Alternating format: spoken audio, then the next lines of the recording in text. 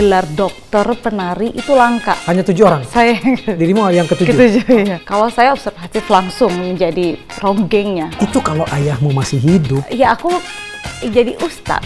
eh ustazah. Aku tuh sedang laki-laki dewasa. dan gundul. Rosmala Sari Dewi pun tak henti bermimpi menari dari kolong jembatan hingga ke luar negeri.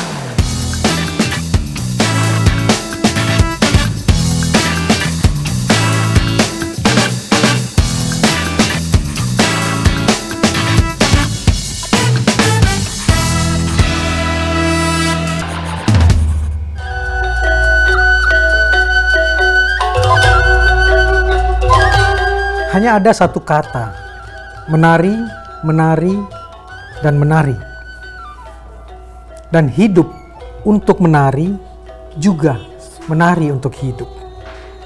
Malah untuk dunia tari, malah untuk tari dunia.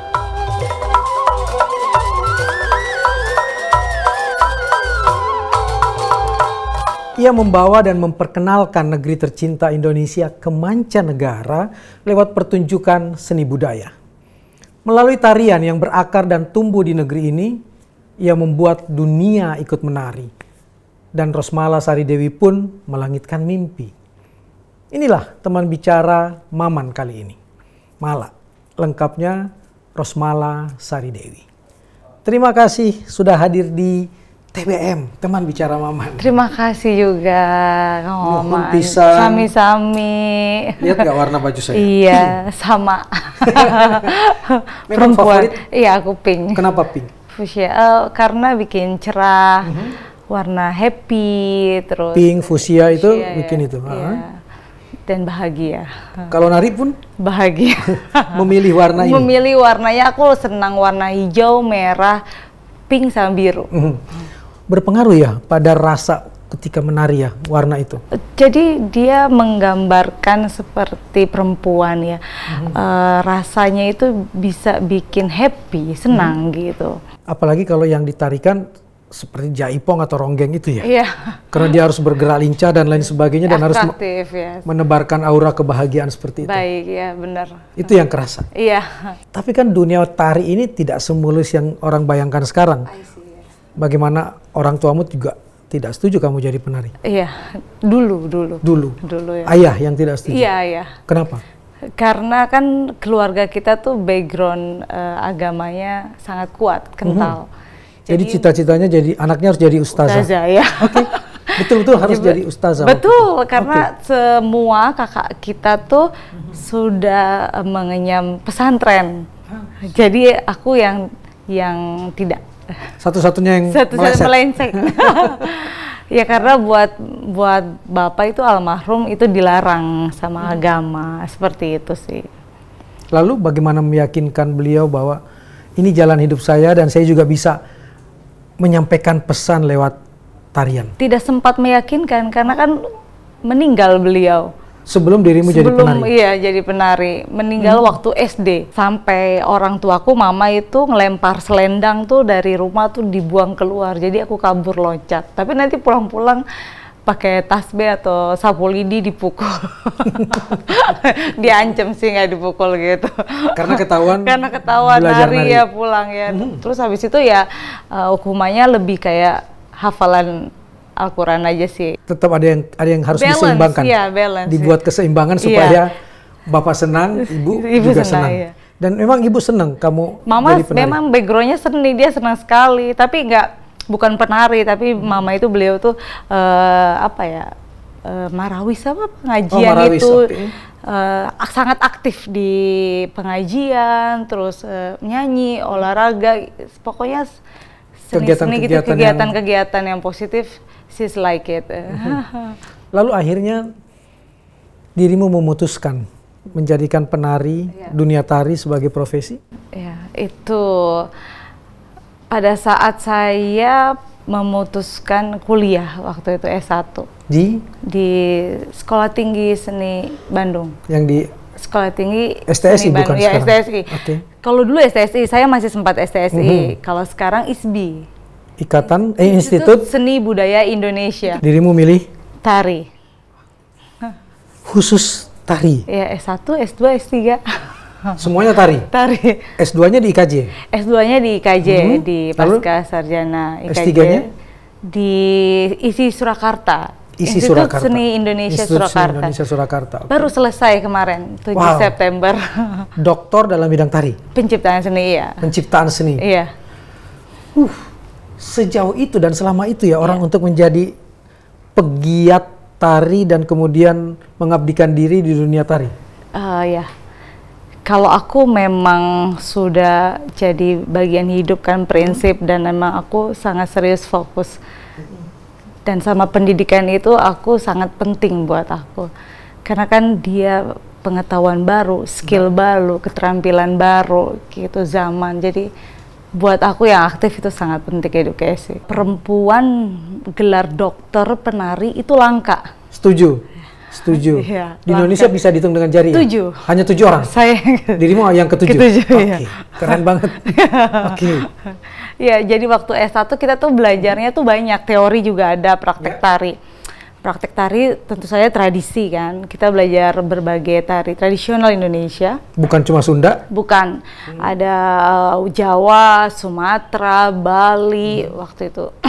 Terus dan kita- filosofinya juga diajarkan. dan sejarah tari, pengetahuan tari, lalu eh, apa silabus tari kita diajarin kan kalau musik kan ada kan, nah kita ada silabus balok tari juga, Dirimu ambil di S1? Penciptaan satu, penciptaan, semua. Penciptaan. penciptaan seni semua, karya tari semua, S1, S2, S3 sama. Semua penciptaan tari. penciptaan seni.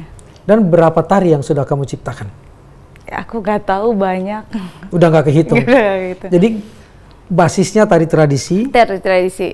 kamu kembangkan. Jadi kalau tradisi kita tidak mengubah. Nggak boleh digubah. Iya, kita bikin. Jadi ada gerak dasar apa kita ambil kita kreasikan gitu. Jadi tiap daerah itu ada macam-macam gerak dasar nama tari gitu. Kayak menda, kayak agem mau diapain. Itu kalau ayahmu masih hidup, Ya aku jadi ustad. eh, ustazah. Sorry. itu kamu memang- mengambil tari tradisi yang terkenal dengan istilah yang kadang-kadang dimaknai negatif kan dengan Iya, 3G-nya iya. itu geol, goyang, Go- gitu, goyal gitu gitu, kan? ya, ya. Gimana ya? Enggak sebenarnya semua tarian itu ada, Ada goyang, goyang, ada ada iya, iya, cuman eh, bahasanya beda, tapi halus kan kayak Melayu ada goyang gitu. Cuman kan Hmm.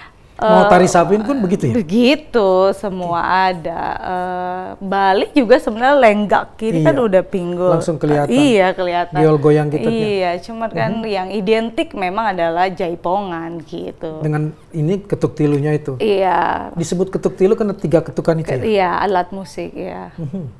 Jadi eh, sebenarnya tuh eh, ronggeng itu lebih artinya tuh penari. Jadi ronggeng itu Basisnya artinya adalah penari. ya. Dan bukan dikaitkan dengan sebagai penari di jalanan ya? Bukan. Jadi Troubadour kayak penyanyi jalanan kayak no, gitu? no. Jadi ronggeng di sini ini bahasa Sunda juga kita nyebutnya ronggeng. Hmm. Eh, zaman dulu penari ronggeng. Kalau dulu, jadi ini adalah sebenarnya tuh yang negatif lah apa adalah bahwa daya survive, daya tahan hidup para ronggeng Iya. dari zaman dimensi waktu zaman lampau dan sekarang gitu. Dulunya mereka bang barang di tempat halaman gitu, sekarang ada di konvensional panggung lalu sekarang digital kan banyak.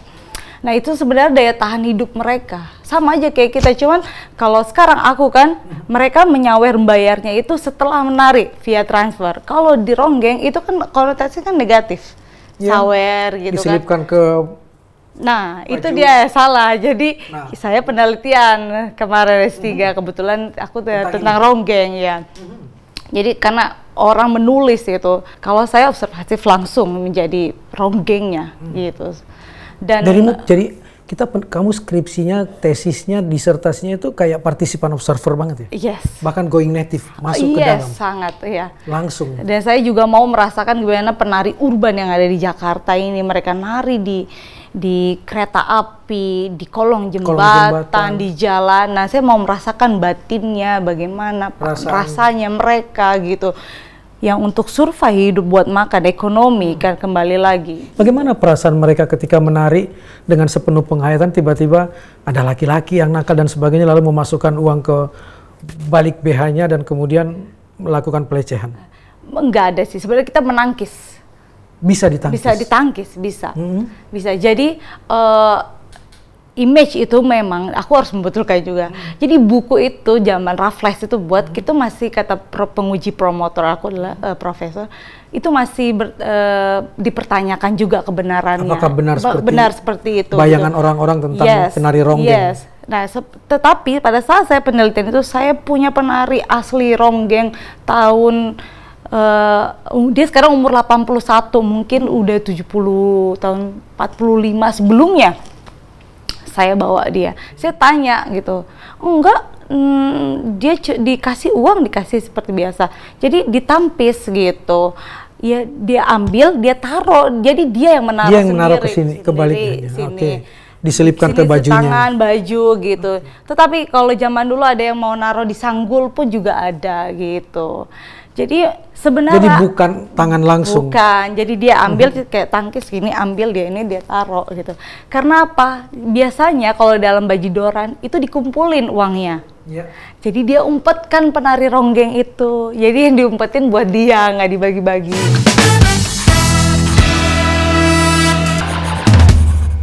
Jadi aku pernah mengumpulin malam itu hanya dapat 20.000 ribu. 20 Semalam? ribu semalam. 20 ribu kadang aku dapat 10 ribu.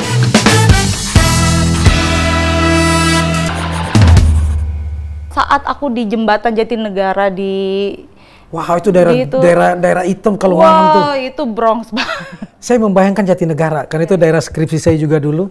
Di sini ada penguasanya, di sini ada penguasanya. benar, benar, benar. Di sini ada penguasanya nggak boleh saling nyebrang. Nggak gitu boleh, kan. iya benar. Yang masuk minuman juga nggak boleh Nggak sembarangan boleh. orang. Iya. Kamu ada di situ. Saya ada di situ. Bikin S3 itu, bikin S1, disertasi. itu S1. Waktu S2. S2 Waktu itu malah. S2. Tahun aku.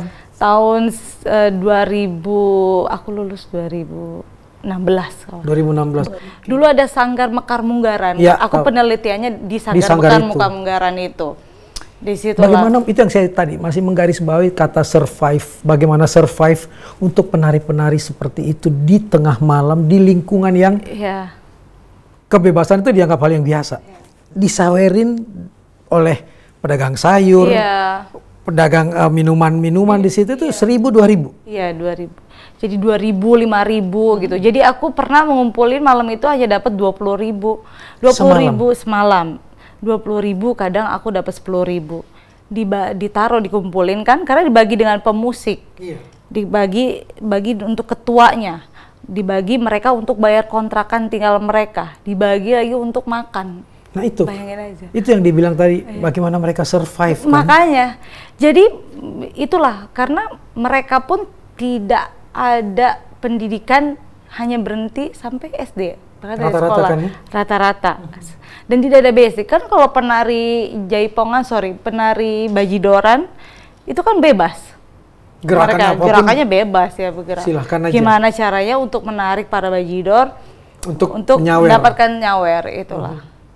Ya dari situ biasanya bajidor ada yang suka Hmm.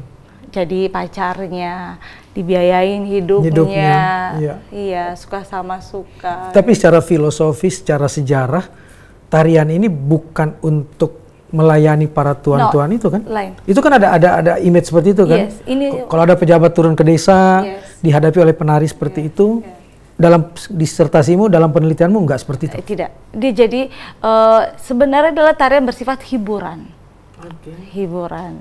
Jadi Ketika pesta panen, ketika apa, ya, diundang. diundang gitu.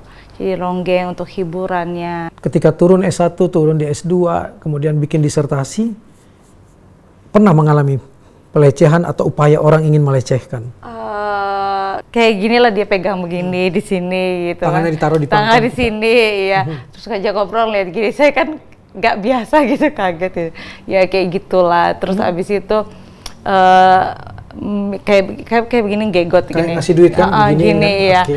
dia dikode Ini lagi. yang dia main, iya di- di, gini. di usap-usap gitu, Iya, dia kan namanya gegot diusap gitu. Padahal kayak kode dalamnya, ya kan? di, ya uang. Tapi itu kode buat mereka bu. Untuk ngajak. kode ya kayak tatapan gitu. Hmm. dia suka atau nanti kenalan gitu. Cara menepis, cara menjaga supaya tidak tidak terjadi pelecehan misalnya. dari kitanya. Biasanya aku aku sih eh, gitu. Entong atau ya, eh, jangan ya aku Iya. bilang iya apa sih mang gitu aja Hmm. sih pura-pura atau langsung ambil aja uangnya gitu ya kita menepis aja Itu artinya dirimu pun memberi edukasi kepada teman-teman yang ada di jalan Iya.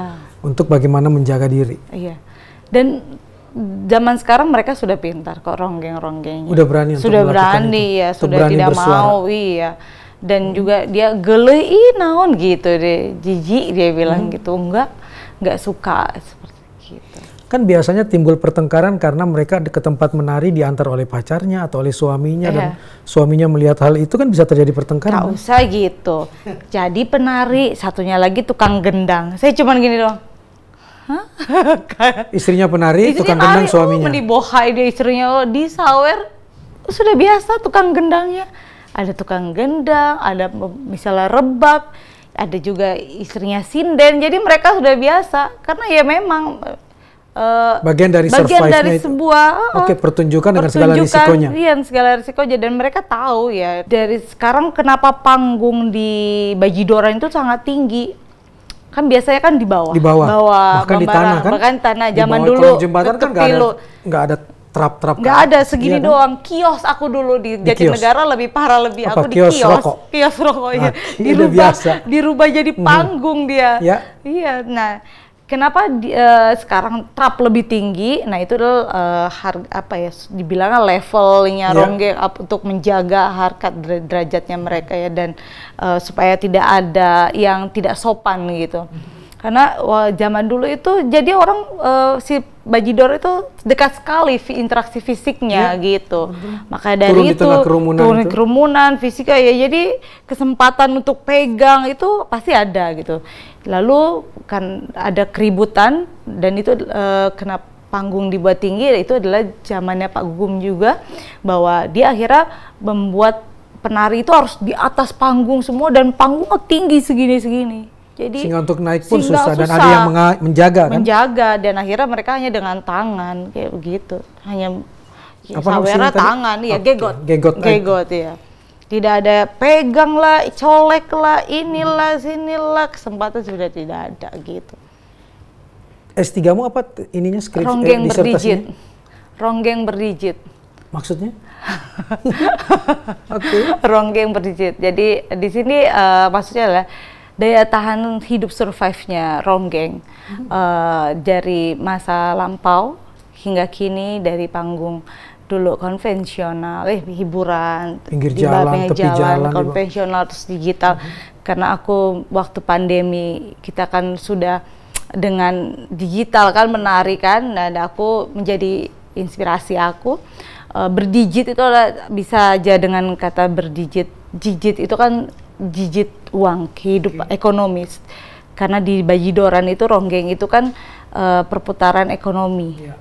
tradisi sawer itu harus ada. Karena kan sawer itu adalah tradisinya di dalam Bajidoran nah itulah dan Bagian dari bayar bagian karcis dari ya, ya Sebenarnya. bersawer, ya. ya. Karena kan gratis kan dia mengundang. Iya gratis. Yang punya hajat datang, para Hmm. tamu kan sawer gitu kan. Iya. Nah di sini digit itu adalah uang, ekonomi, materi bisa dibilang. Hmm. Nah, digitalnya ini bisa juga digital. Karena aku berkolaborasi dengan multimedia, eh, artistik, dengan eh, eh, videografer seperti itu. Dan di sini aku bermain dengan eh, sawernya dalam bentuk digital juga. Transferan. transfer Oke. via kode barcode gitu. Dan aku mengajarkan ke mereka bahwa kalian menari ini jangan saja mengandalkan dengan saweran kalian live. TikTok Instagram. Sekarang hits adalah TikTok. Kalian live.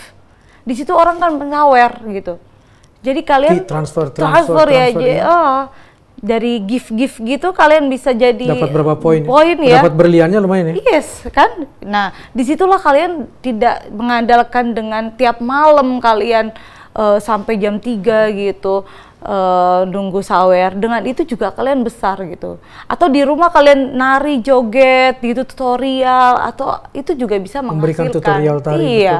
Itu juga menghasilkan. Jadi memanfaatkan zaman digital ini saya. Udah nggak bisa menutupi kebahagiaan itu ya. Can I marry with you?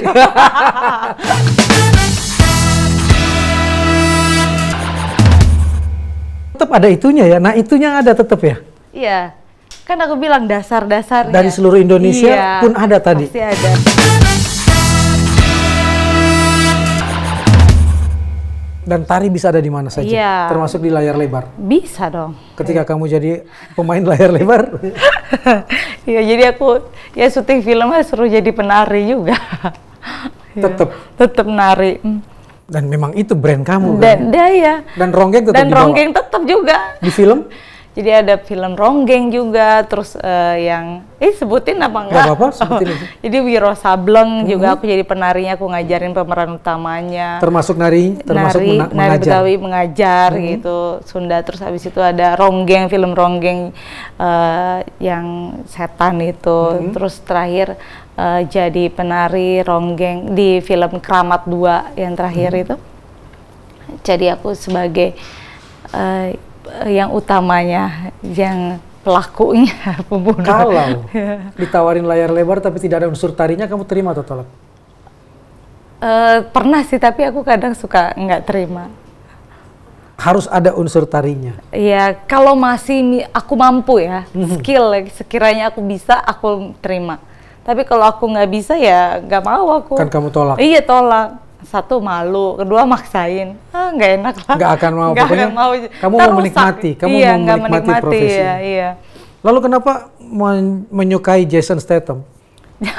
Ini game berita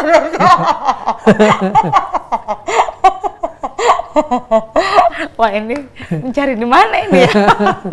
aku aku suka dia. Ya ini aja apa ya? Aduh kan mungkin di TV-TV. ya aku emang seneng actionnya dia. Oke. Ya, pokoknya ya ada aura aja dia ganteng dan lain-lain jagoan. Oke, nonton filmnya. Film semua. Semua filmnya ditonton? Semua ditonton. Terakhir juga nonton Expendables. Oh ya, dan cuma nonton nonton dia. Iya. Oke, emang begitu ya idola yang ada di bayangan kamu. Aku tuh sedang laki-laki dewasa. Terus eh, ya apa ya pemimpin, jago gitu, wibawa, bijaksana itu aja sih. Dan gundul. Depan aku gundul dong. Kok tiba-tiba Jason Statham Iya, muncul di depan gitu. kamu? Iya. Wow, udah nggak bisa menutupi kebahagiaan itu ya. Can I marry with you?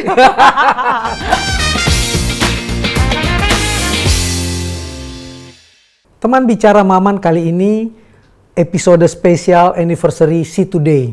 Karena itu saya dengan Mala tidak cuma berbicara tapi kita ingin membuktikan, mempraktikkan apa yang disebut dengan spesialisasi penciptaan tari.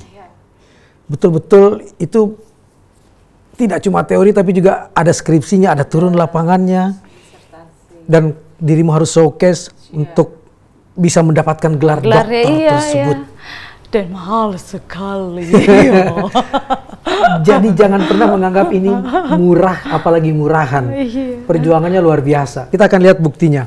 Saya punya akuarium ini. Biasanya isinya ikan, tapi ini adalah lima jenis tari yang akan saya tam- eh, berikan kepada Mala. Terserah Mala mau milih yang mana, dan langsung kita lihat bisa nggak tiga dari lima ini dia langsung praktikkan di depan kita semua. Silahkan Kamu kah maman yang ambil aku? dirimu biar bisa membayangkan gundulnya Jason itu gundul semua di dalam situ. Waduh, saya dikerjain nih. tak apalah. Tari Bali. Tari Bali.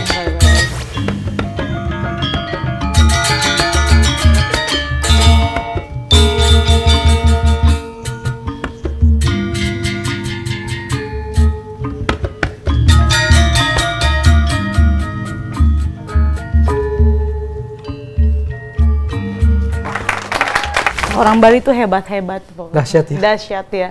Matanya tuh Dan menyatu dengan sangat keyakinan mereka, Oh, iya. menyatu dengan budaya mereka. Mereka. Budaya dalam artian budaya kan bukan cuma nyanyi dan tari kan, bukan cuma pertunjukan tapi kehidupan sehari-hari mereka. Tari kedua, tapi aku mau nanya dikit, ada nggak sih akreditasi tari? ada. Ada. Ada, ada. Dan dirimu punya itu? Oh, si ijazah sertifikat itu. Ah, ada, Itu kan? kan dari kampus. Yang kampus kan ya kamu. Ah, ah. Kalau kursus-kursus gitu? Ada show, ada, Ada ada, juga? ada, ada juga banyak. Tapi berjuang juga kan? Iya berjuang juga. mendapat- Sekarang yang kedua, Iya. masih ada Tiga tortor, manotor, kita Oh. mama kita memanotor. Sumatera Utara? Iya. Tari tortor.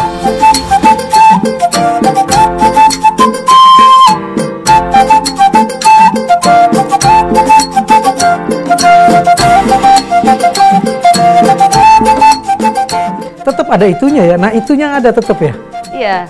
Kan aku bilang dasar-dasarnya. Dari seluruh Indonesia Iya, pun ada tadi. Pasti ada ya. Apa namanya tadi? Manortor ya. Enggak yang muter itu? Oh, ukel ini. Ukel itu. Iya. Tetap ada di sini. Iya, tapi mereka sebutannya beda-beda. Sebutannya aja yang beda, tapi Beda-beda. geraknya sama. Geraknya pasti ada. Mau begini, macem-macem dia. Mhm. Oke. Jadi Jawa tadi tadi Bali ada ukelnya. Sumatera pun Sumatera Utara ada Iya. ukelnya. Satu lagi Satu lagi. Saman.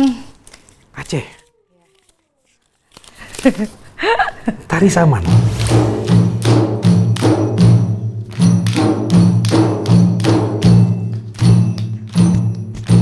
Ya biasa ada seperti ini juga gitu.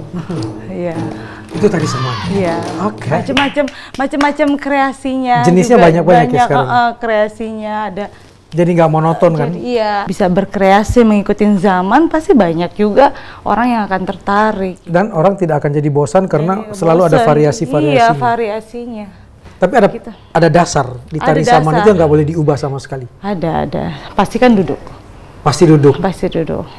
Oke. Dan biasanya bajunya tuh tertutup. Luar biasa, kita lihat bagaimana Mala tidak tahu apa yang akan dia pilih tapi kemudian bisa mewujudkannya. Terima kasih, saya jadi kebayang bahwa kalau memang bukan penari, nggak akan bisa. Ya, Dan itu belajarnya luar biasa. belajar Lama. proses lama. Jangan suruh saya. Kakunya nggak ketulungan. kan kita kan belum mem- mempelajari Mhm. tari tradisional ya kan. itu yang yang sebenarnya bisa kemudian menjadi salah satu jualan, negeri Jualan ini. ya. Jadi kalau kalian bisa menari tradisional Indonesia itu lebih bagus sih itu. Jualan dalam arti positif, ya. Positif, Bahwa ya. kita bisa membawa negeri ini dan kemudian bisa menjadi bawa keluar lalu kemudian membuat orang luar datang ke Indonesia Iya. untuk melihat hal tersebut dan komentar mereka tentang gerakan tari ta- Indonesia It's amazing, beautiful. sulit nggak buat mereka Hap.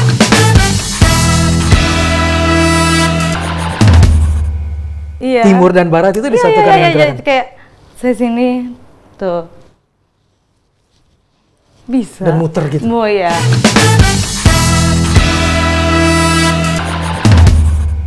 kembali di teman bicara Maman di edisi spesial kita bicara soal budaya. Bagaimana mengangkat budaya kita bagaimana mengembangkan budaya kita dan melestarikan budaya kita serta menghilangkan image dan pandangan-pandangan negatif terhadap budaya terutama budaya yang tumbuh dari akar rumput, tumbuh dari jalanan, termasuk yang didalami oleh Mala. Ronggeng itu pasti negatif gitu kan. iya. Mala membuktikannya selama S1, S2, S3 dan menemukan nilai-nilai filosofis bahwa upaya bertahan hidup itu kerap menghadapi tantangan seperti Iya, itu. benar. Tapi dasarnya tidak seperti tidak itu. seperti itu tidak Mhm. Dan kemudian tiba-tiba dilirik oleh mancanegara dan kemudian tampil di Spanyol di mana? Di ya Di Spanyol kemudian di Dance sempat belajar ke Broadway juga. iya Broadway ya Itu gimana ceritanya? jadi seperti aku bilang tadi aku kan senang ilmu baru. Terus aku orangnya eh, penasaran dan gemes gitu. Lalu aku eh, belajar eh, ke Broadway Dance Center di New York gitu. Berapa lama? itu enam bulan tujuh bulan ya tujuh juga gara-gara aku sakit. Jadi eh, malah tuh seneng kontemporer juga. Karena kan emang koreografer itu pasti kontemporer juga lah. Terus aku sering lihat di YouTube gitu kan wih they're so nice the dancing beautiful like can do like this bla bla bla gitu. Terus aku belajar di mana nih? Akhirnya aku uh, apply application international student visa program. Eh, akhirnya aku keterima diterima dari beberapa negara ada 135 orang pada saat itu angkatan aku Apa yang kamu tampilkan sehingga kamu diterima? aku tampil tradisional tarian itu Ah, iya, aku kasih dalam terus bentuk video? experience aku ya dalam bentuk video semuanya. Akhirnya diterima, lalu eh, kita eh, masuk advance, terus aku belajar, aku ngambil jurusan kontemporer. dirimu juga ikut Aku showcase. showcase-nya buat tradisi, Apa yang kamu tampilkan? Tetap tetap ya. su- tari Sunda Bali sudah campur semua mix dengan kontemporer. dengan pakaian dengan Indonesia? pakaian Indonesia. Iya. Dan eh, kita selama enam bulan itu harus absennya terisi 21 kelas. Jadi kalau kita nggak terisi, kita nggak lulus. Nggak lulus, dari, tidak dapat sertifikat dan sertifikatnya tergantung kelulusannya kita apa. dan dirimu lulus Lulus. Di sertifikat. Excellence. Oh. Dengan excellence. Lalu kemudian ketertarikan apa yang diperlihatkan oleh teman-temanmu oleh pengelola di Broadway sana Iya. dengan seni budaya Indonesia yang kamu tampilkan? The movement. Itu sangat berbeda. Gerakan kita sangat berbeda. Mereka tidak punya kan Apa yang mereka tidak punya misalnya gerakan seperti apa? Gerakan basicnya ya ukel gitu Itu kan. punya? Nggak punya kewer seperti ini. Mereka nggak ada. Ya dari Bali, agam kan banyak-banyak kan. Gerakan matanya Siapin semua penari Bali pun? mata juga iya, tidak ada. Saya nggak belum bisa membayangkan tari tradisi Indonesia kemudian dikain dikawinkan dengan kontemporer dan Iya. kemudian memesona mereka dan kamu dapat excellent. Jadi di aku lebih kayak ke ruangnya, Mhm. formasinya, levelnya, koreografinya mau apa gitu. Selama berapa menit? Eh 10 menit. 10 menit Iya, tampil kurang. sendiri. No, no, aku aku ajak justru penari dari mereka studentnya itu harus di, di Mhm. Dilibatkan. dilibatkan. Kita harus pakai penari. Berarti kamu ikut melatih mereka iya, juga? mereka jadi ada penari dari India, Afrika, teman-teman aku ada yang dari eh, Rusia, Amerika juga gitu. Jadi teman-teman Betapa kemudian budaya itu bisa menjadi bahasa Iya, pemersatu ya, bahasa iya. perekat satu Iya. sama lainnya. budaya, bahasa di kita juga kan di Indonesia juga bahasa yang utama adalah budaya.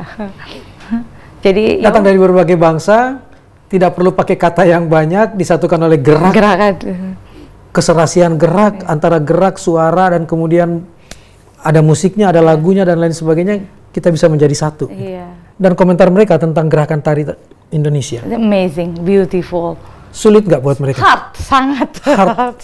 Kalimat lebih mereka hard itu. dari lebih lebih sulit dari yang aku kita pelajarin di yang kamu dapat di sana. Broadway, iya. Jadi kecil lah mereka tarian mereka, gerakan mereka dibanding yang kamu sudah Iya. dari kecil kamu tari eh, pelajari di sini. yes ya ya tapi buat aku ke ballet itu kan juga not my basic kan so Hmm. I really hard to Memulainya. memulainya Aku ngebayangin kamu bergerak nari Sunda tapi kemudian jinjitnya ala balet itu dilakukan iya so I mix namanya fusion pakai sarung gini, pakai yang kayak begini kamu masih bisa berdiri seperti Iya. Bisa. penari balet. Coba. Aku mau lihat. seperti ballet ah, ah. Berdirinya dan lain sebagainya. Kalau orang balet kan dia punya baju sendiri gitu. Iya. Tapi dengan ini bisa? Coba. bisa kan? Sase tap. Bisa. Iya. Bisa kalau Dengan dia. Paduan Iya. timur dan barat itu Iya, disatukan iya, dengan iya, gerakan. iya, kayak saya sini tuh. Bisa. Dan muter gitu. mau ya sekarang sudah ada kok. Aku melihat di ballet di Indonesia sudah ada yang memfusion mengcreate mix itu ya tari ballet dengan tradisi Dan penghargaan itu yang kamu dapat di yang di Spanyol, Spanyol. terus juga di eh, banyak di Singapura di Amerika juga udah berapa negara yang dirimu tampil?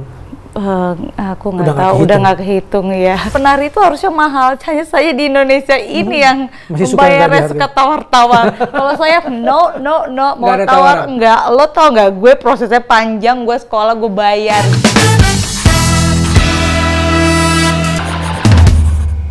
Kamu lebih senang disebut cantik atau cerdas? Aku lebih senang dibilang ronggeng. Lebih senang dibilang ronggeng. ronggeng ya. Dirimu pernah dikabarkan hampir lumpuh? Iya.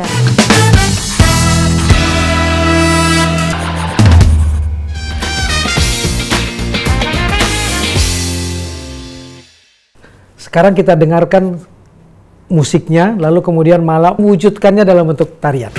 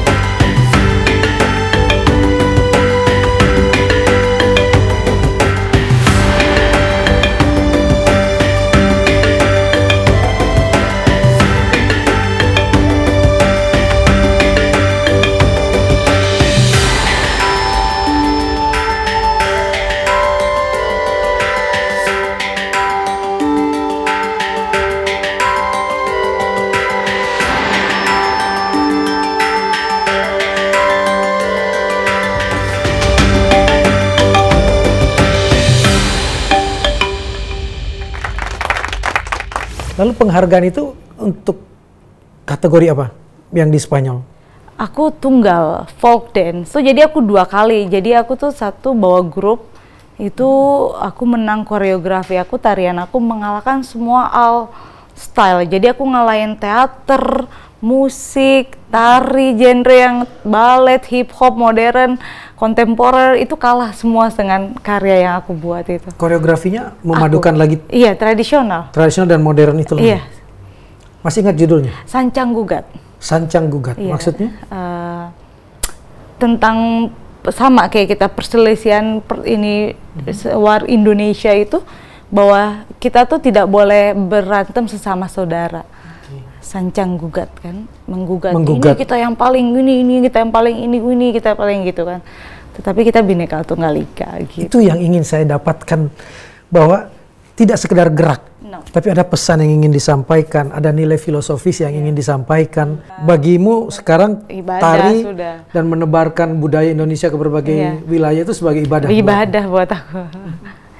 Jadi aku memberikan generasi melacuni, menginfluence semua mereka bahwa you know right tradisional yang pergi ke luar negeri, not modern or K-pop, not anything. Gitu. Dan tidak But- ada yang menolak pula Iya, kan? Iya, but it's okay. You can belajar tari apa pun.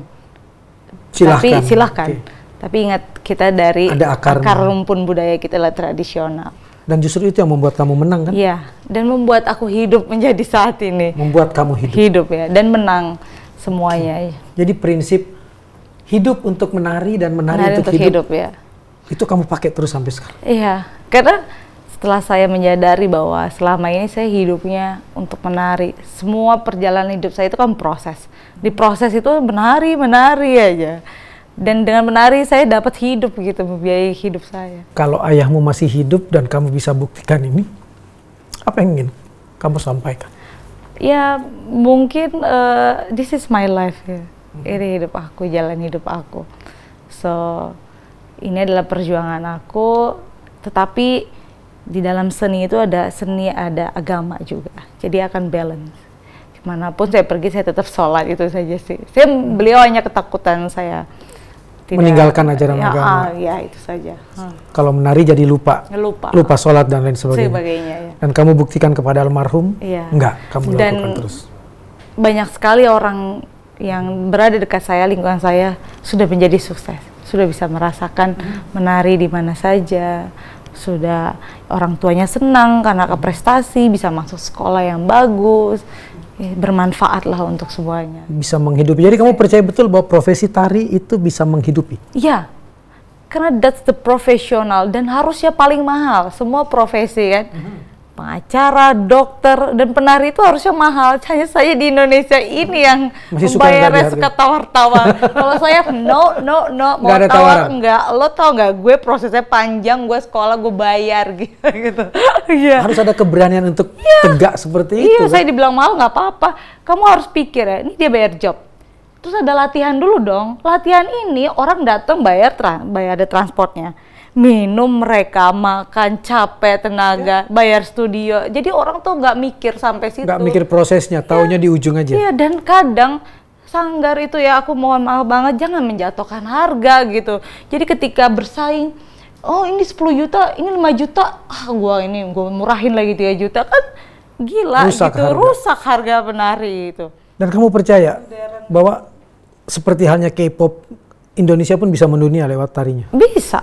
Saya buat tarian lagu K-pop dengan tari gerak tradisional. Ha, how you like that? You gon' like that? Da-da-da-da-da-da. Dengan K-pop dan tapi tarinya tradisional. Tradisional, iya. Bajunya busananya tradisional. Iya, etnik ada. Jadi Etnik, betul. Iya, modern.